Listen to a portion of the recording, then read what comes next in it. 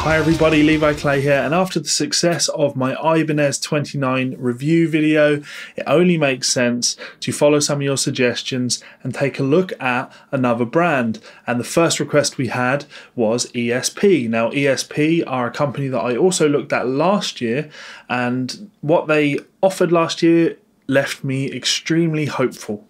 Extremely hopeful because they pushed the Evertune really hard and I'm really interested to see how that's gone for them, what new models they introduce. Uh, uh, yeah, let's so let's take a look at it. So, ah, my face is here, fantastic. Right, so we are over here taking a look at ESP's 2019 offering. So, just looking through here, it's always worth pointing out that when looking through something like this, models can often be missing. There are things that aren't necessarily listed that may actually end up coming out. It was just pointed out to me by my friend Jeremy with Ibanez that there's actually two new AZ models that for some reason Ibanez didn't post in their new guitars thing. So, you know, there may be some other models here. And the, the other thing to mention with ESP is they're never entirely clear whether or not these are new and updated and this is the line now or if these are additions to what the uh, what the company is offering. Uh, the reason I mention this is because there were some really interesting models last year. In particular, I was a big fan of the look of the uh, Eclipse 8 string with an Evertune bridge. I thought that was great. And that's not listed here. It's still listed on the website, but whether or not you're going to be able to buy one this coming year, you know, we're really going to have to wait and see on that one. So I'm just going to look through these and let you know what I think. Now, there's a running theme when I look at a lot of this. You've got the uh, single pickup thing going on. Uh, and I'll be completely honest, you know, I'm really comparing this line to the Ibanez line because I did the Ibanez review video yesterday and I was blown away by how many new, exciting signature models that they offered. So uh, when I look at this, I'm not I'm not really seeing I'm not seeing that at all to be completely honest with you. I'm seeing a Myers signature. I'm seeing a Steph signature. Like, yeah, these are what you'd expect, right? Uh, anyway, so you know, Viper shape, EMG pickup in it. If you like the finish, then that's going to be cool for you. A black marble satin finish, no fret inlays, which yeah, fine. No tramp stamp is really what I'm getting at here. As long as there's no tramp stamp, I guess you do have my seal of approval. So, you know, simple guitar. Uh, again, it's very hard to comment on these without prices, without recommended retail prices or MSRPs or however you want to deal in those things because for you know seven eight hundred bucks that's a cool buy go and get one for three thousand bucks probably steer clear so the Steph Carpenter signature yeah it's got his signature Fluence um, Fishman Fluence pickup in there. Sounds great by all accounts. I'm not crazy on the finish, uh, and yeah, an interesting choice to only have the one pickup.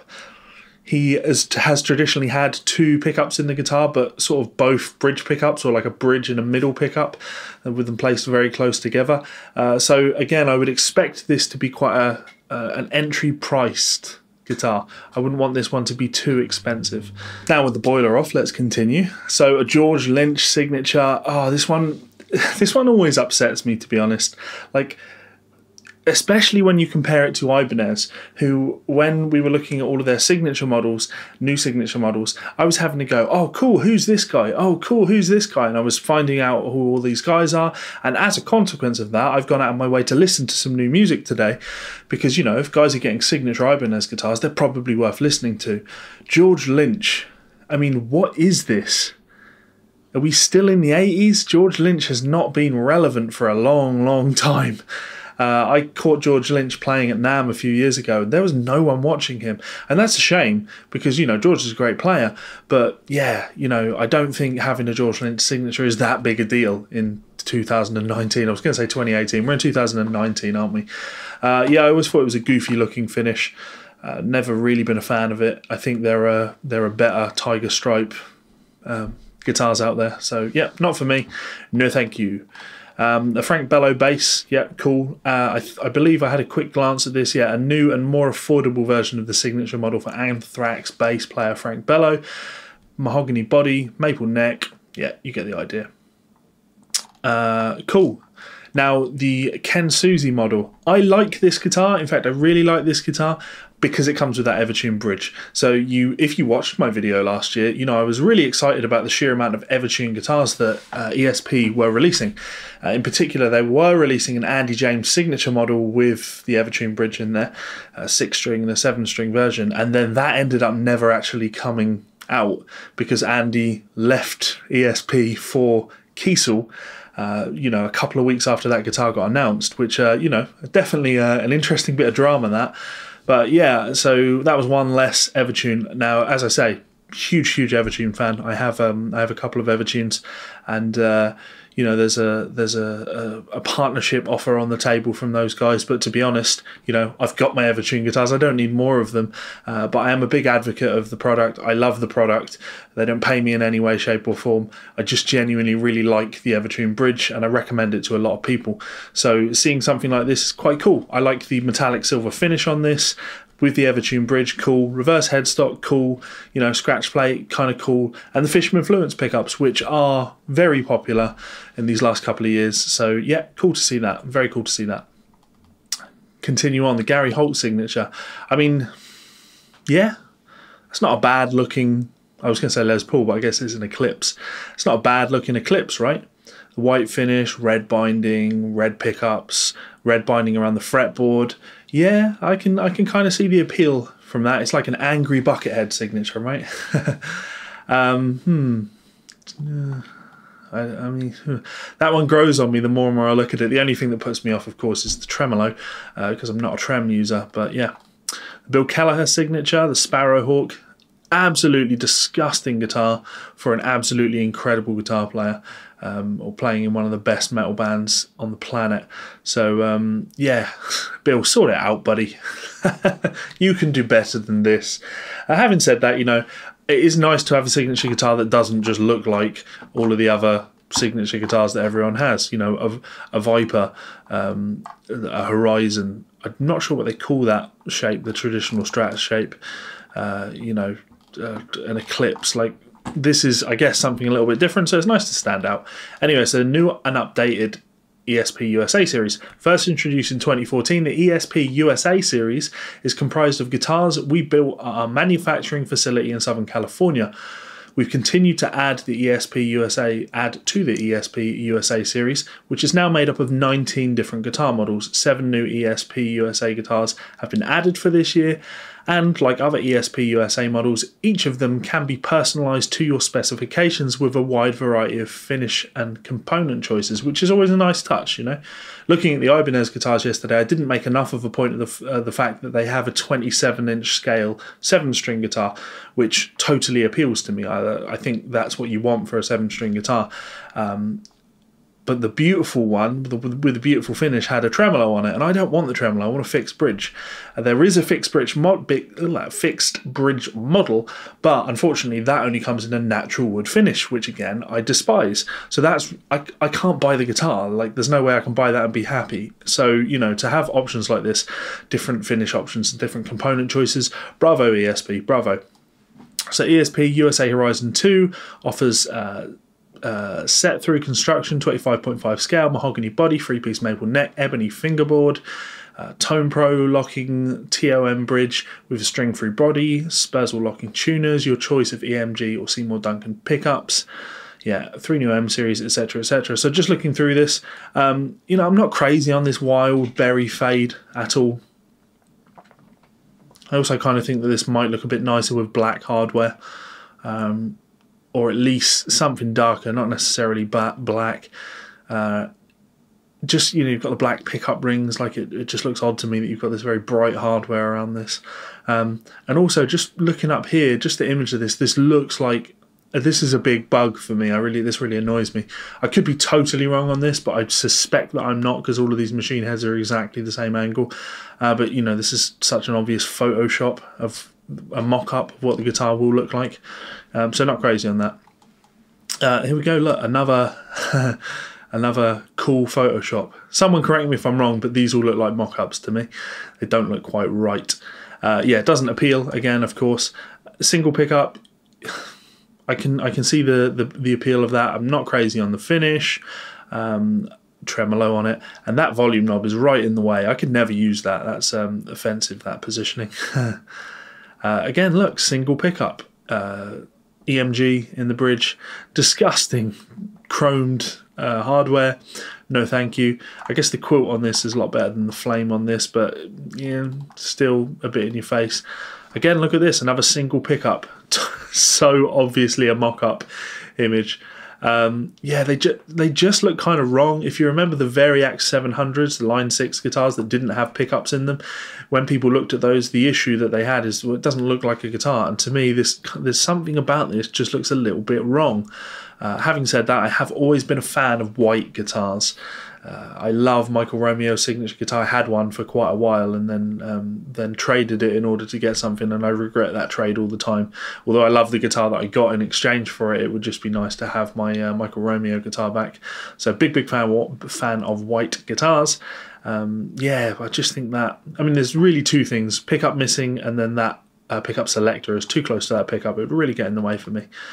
Um, yeah, now moving on to the Viper. Uh, sorry, not Viper. What do they call this? King V? V2. Okay. Yeah. It's not King V, is it?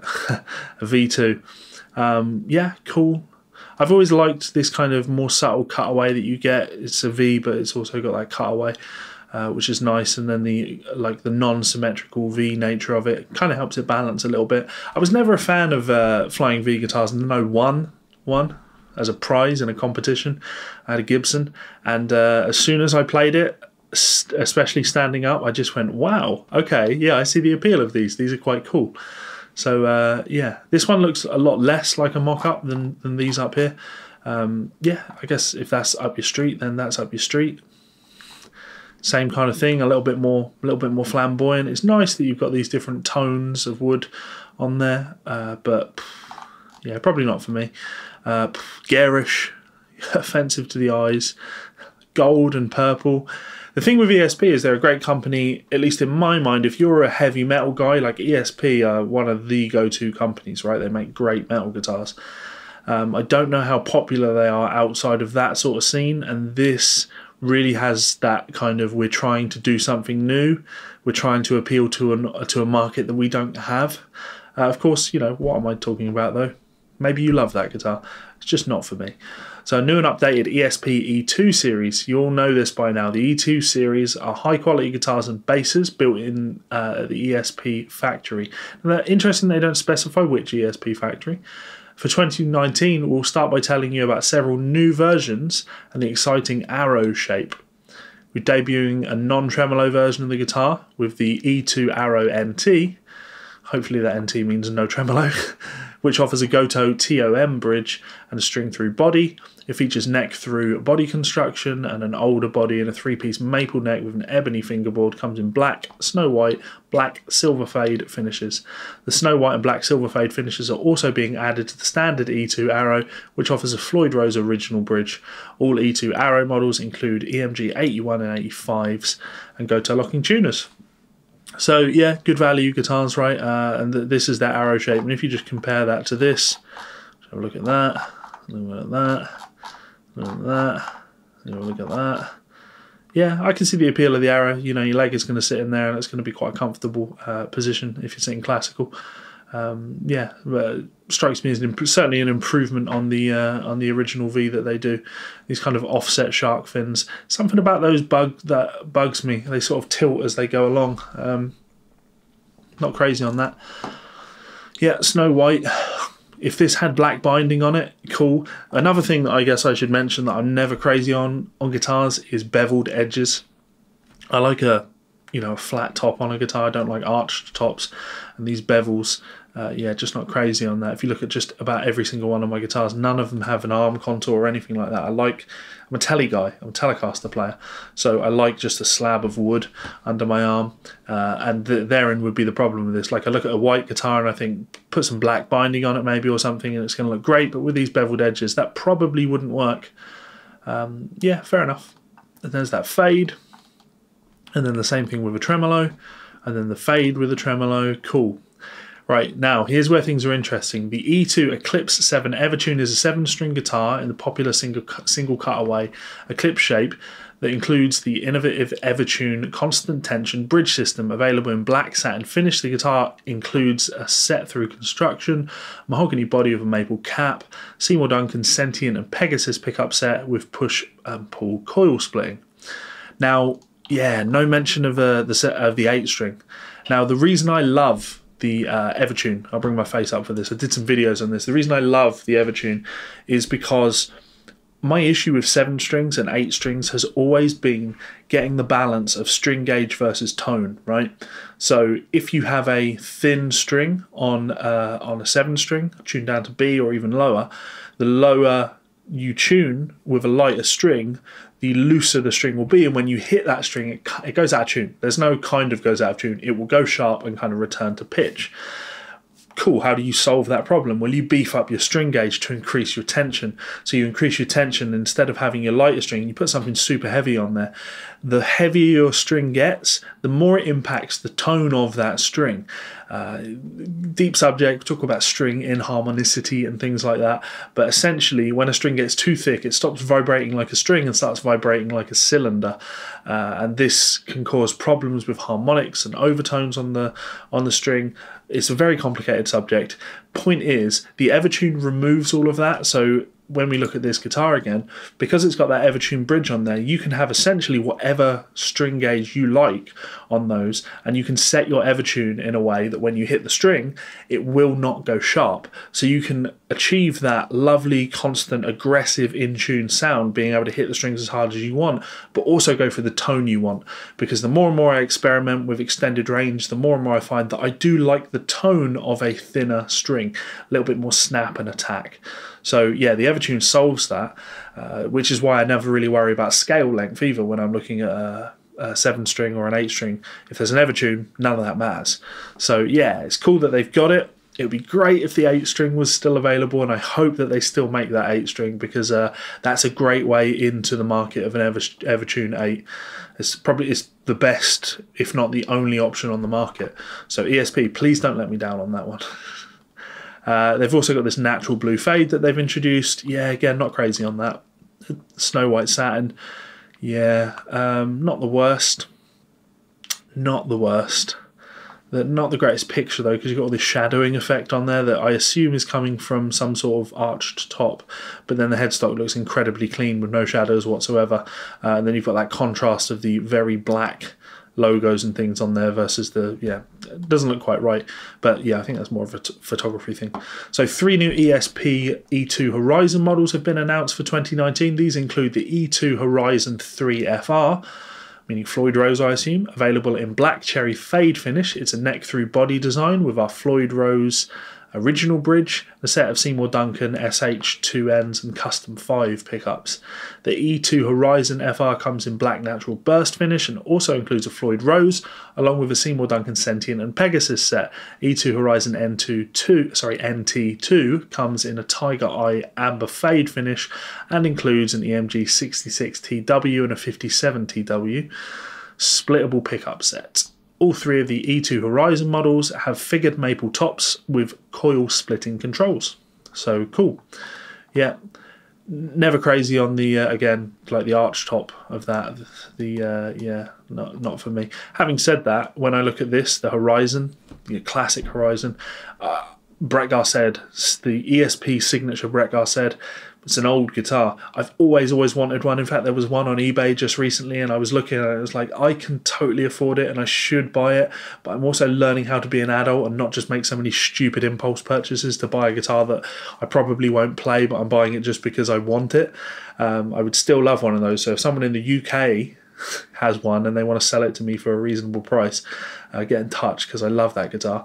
Um, that's what I look think of when I see this uh, model. Uh, though the Brett Garsed one has the kind of the dolphin tail headstock on it, which uh, yeah, great. So I do have uh, an affinity to that Horizon shape.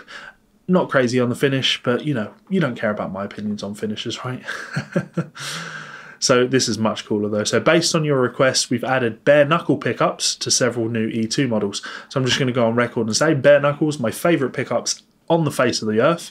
Um, I have bare knuckles in that, that, that, and th- that. uh, what have we got? Juggernauts. Um, oh, also my headless that's down here somewhere. How do I do that? Point like that. Um, yeah, bare knuckles in that. So Juggernauts in that. I have the um, Black Hawks in that. I have a, a Cold Sweat and uh, Nail Bomb in that. I have Aftermaths in that and I also have the uh, Blackhawks in my headless. So I'm a huge, huge fan of miners. Uh, sorry, well, I'm a huge fan of miners. Um, I'm a huge fan of bare knuckle pickups. Uh, so great to see that they are offering them. My favourite set are the Blackhawks. I absolutely love the Blackhawks. I want them in every single one of my guitars. So good on you, ESP, for offering some uh, bare knuckles. Now, uh, do you specify which ones though? So, Buckeye Burl Maple top, natural fade finish, includes Hipshot bridge, bare, bare knuckle aftermath, tiger pickups. Yep, a seven string version, etc. So, yeah, that's. I don't. Oh, I really don't know how I feel about the finish on it. I really don't know how I feel about the finish on it. Um, but it's it's totally a guitar that's up my street. Fixed bridge, two pickups. Yeah, bare knuckle pickups. um, yeah, ebony ebony board. Yeah, seven string. Really don't like that finish. I can tell you that for nothing. and then we got a Viper. Yeah, I loved the Viper growing up, but not so much now. And of course the Urban Camo. Can't can't have an ESP Viper without that Urban Camo option, can you? An updated LTD Deluxe series. For many years, the LTD Deluxe 1000 series guitars have long been among ESP's most popular and best selling models due to a combination of professional quality designs and components, along with appealing, affordable pricing for instruments of their caliber. Here's what's new for the 2019 range. So they've got an Arrow series in there. Yeah, single pickup Floyd Rose. That's not a bad looking guitar. That is not a bad looking guitar. Um, and I never thought I'd say this, but my only criticism of that guitar is that I can't really see ESP or LTD on there. Um, and now, now I look at it on the uh, Viper Seven string. That I don't, I don't, suppose I can zoom in on that. No, I can't zoom in on that.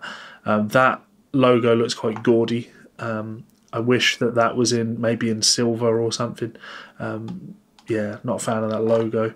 Uh, but yeah, that is that is a beauty. I don't mind that at all. Uh, what silver burst? It's cheap looking silver burst. I don't like this, you know, heavy black up here. Yeah, more. I'm not even going to bother clicking that. Yeah, honey burst. Ooh, hello. That's a nice finish. Yeah, again, Floyd Rose, so no thank you. Um, cherry fade, yeah. There's the thing with a fade like this is you get the extremes, right? At this end, I don't like this. At this end, I don't like this. And as you go down, it's like don't like it. Oh, it's starting to like it. Oh, I really like this. It's nice. Um, it's getting a bit pale. Uh, so that's too pale. Oh no, disgusting. Yeah, no, right in the bin. Same principle here. Now this is the interesting one, uh, the multi-scale. Let's see what they talk about this. So the ESP um, LTD M1000 multi-scale is our first six-string model with angled frets and multiple scale lengths. Joining the M1007, M1008 multi-scale models, the M1000 multi-scale offers a 26 to 25.5 scale, which is not a bad um, variation there, allowing for longer scale lengths and better string tension in the lower registers. This guitar offers a lightweight mahogany body with a solid flame maple drop top, uh, satin nat- uh, natural satin finish, and a five-piece maple and Purple Heart neck. Other features include the black bone nut, hipshot bridge with string through body, and a set of Seymour Duncan, Sentient, and Nazgul pickups. Um, cool. So, you know what? Hats off to ESP for this because at no point in this do they sit here and try and tell you that the reason they've done this is for comfort of playing. And when you compare this to the Ibanez, you'll see exactly what I was talking about with the Ibanez. So I said I don't like the Ibanez multi-scales because they put their parallel fret at the 12th fret, whereas the ESPs have got their parallel fret here at the 5th fret. And what that means is when you look at that first fret, this is angled, but it's nowhere near as extreme an angle as you get on the Ibanez. Um, but as you go up the neck, this fanning becomes a lot more extreme towards this end. To me, that kind of fifth to seventh fret area is the ideal place to put a fan uh, put your, your parallel fret. I would probably go for the 7th fret, uh, but Ibanez's putting it at the 12th fret is just a no-no for me. It's not the, the best place to put it. Um, yeah, not a fan of that. So I, I, don't like the natural satin finish. I hope that you can get another option on this because really, you know, this is getting into um, like Ormsby territory in terms of appeal, and I assume this prob- is probably going to be a bit cheaper. So um, yeah, cool, good option, good option. Having said that, I can't ever really see a time where I'd want a multi-scale six string. So yeah. Ooh, yeah. PS. Purple sparkle. that reminds me of that old G3 parody video. And then basses. Uh, I don't care about bass players because um, yeah, bass players are useless, useless cunts. So I kid, I kid. i am just very aware that I've been going for quite a while. Nice looking acoustic, nice looking acoustic, nice looking acoustic. But I don't care about these because I'm not a virgin. Um, right, and now we get into the cheap uh, LTD lines, I assume. Yeah. Uh, LTD Viper. oh no, sorry, baritone. 27 scale baritone version of the Viper in an affordable yet powerful 400 series version. Yeah. So baritones, I love baritone scale lengths. I love, love, love baritone scale lengths. I was talking about it with the seven string, like I want a 27 inch um, baritone scale seven string. Uh, baritone scale six, yeah, cool. I guess if you got if you're tuning down to B, I just look at it. I'm like, cool. You got it tuned down to B.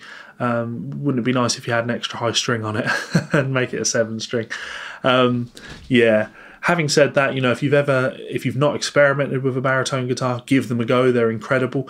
Uh, I found that when I first played a baritone, I, my thought was, wow, if I ever need to record a song that's on a seventh string, I'm going to record all the riffs on a baritone because they feel and sound better because of the tension of the strings.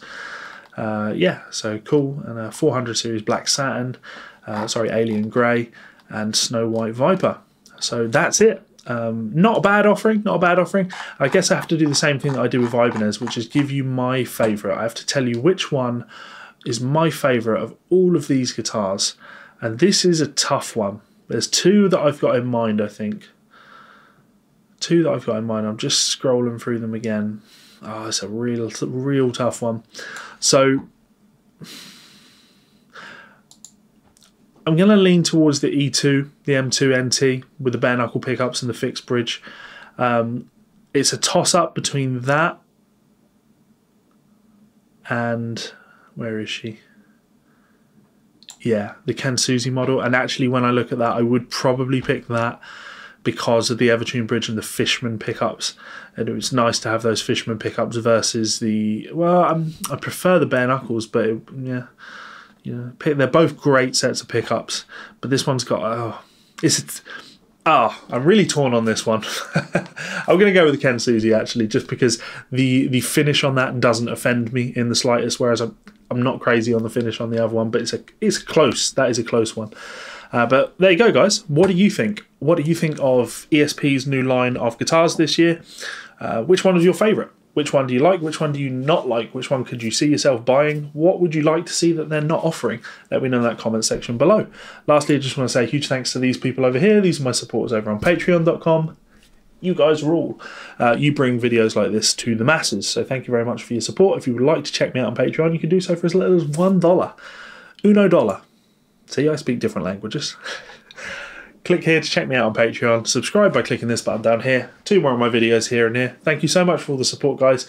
Chat to you in the comment section below, and I will see you for another video soon. Bye.